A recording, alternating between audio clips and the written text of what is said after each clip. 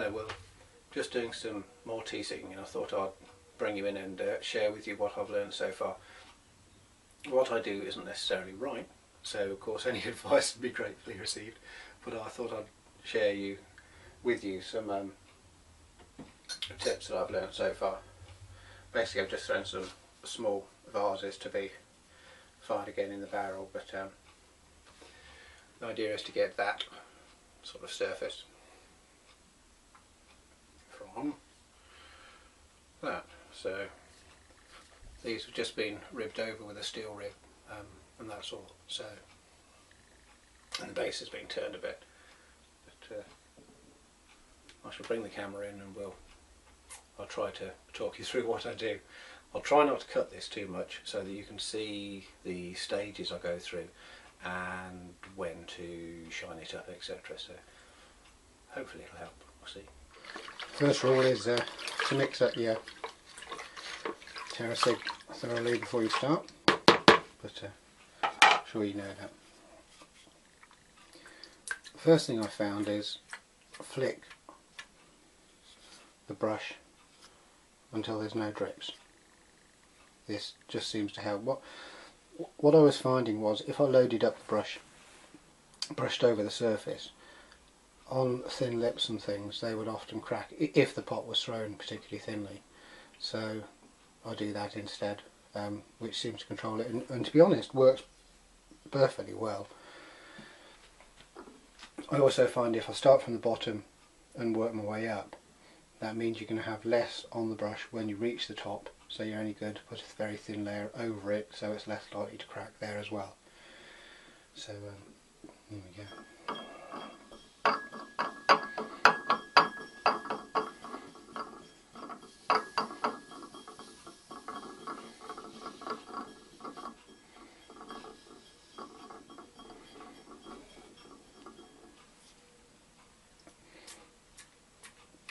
first few layers you get like a matte um, in my case light brown over the surface.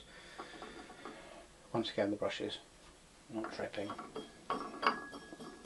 And I find as I build up the layers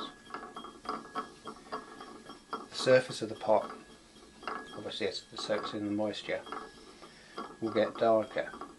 And when it reaches a certain stage that seems to be the point at which you should um, polish up but I'll try to get through this fairly quickly and show you what I mean.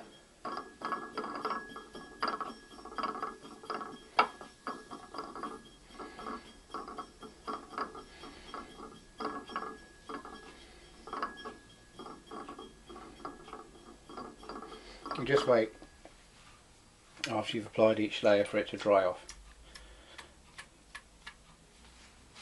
I don't know if you can see but there's no wet on the surface now so if you can see here it's a little darker brown that's the sort of surface I want on it before I start to shine it up but I want that to be all over it.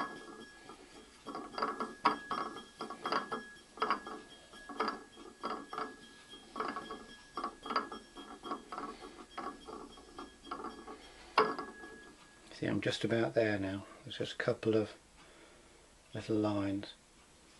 So one more layer.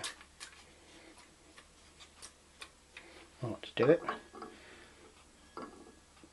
Just waiting for the bottom bit to dry off a little more.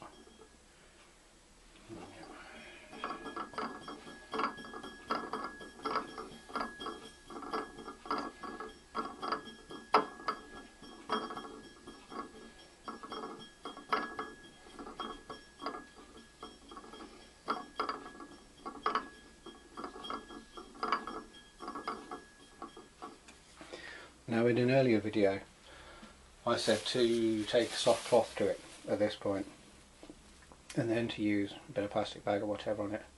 Don't use cloth.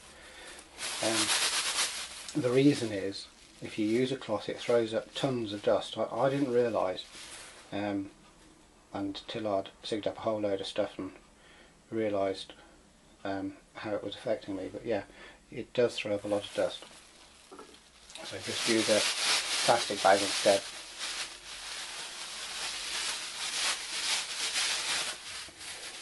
And you can see how it's coming up already. Try to be fairly firm.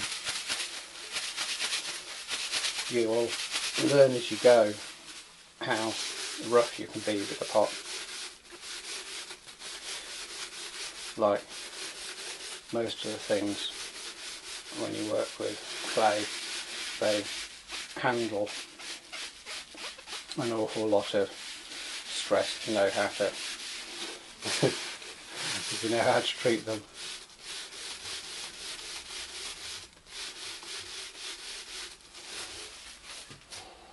Just uh, point down.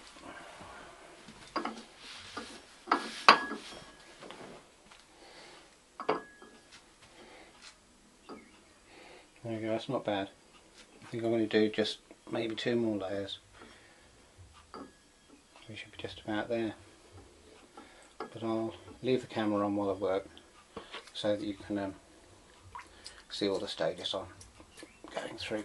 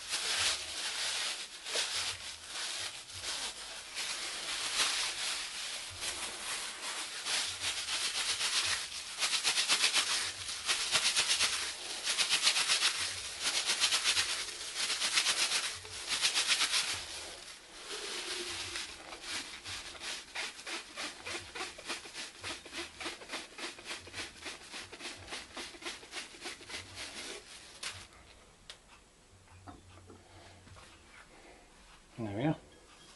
It's alright. So there you go. Hope you've enjoyed. I just wanted to end this video with a big thank you to you all for your comments and advice over the last what, nine months or so since I've been on YouTube and to all of you who post videos of your work um, and your techniques it's been absolutely fantastic and I just wanted to say how much I appreciated it y uh, también a mis amigos que hablan español mm, muchas gracias uh, sus comentarios son apreciados y uh, lo siento, solo hablo un poco español.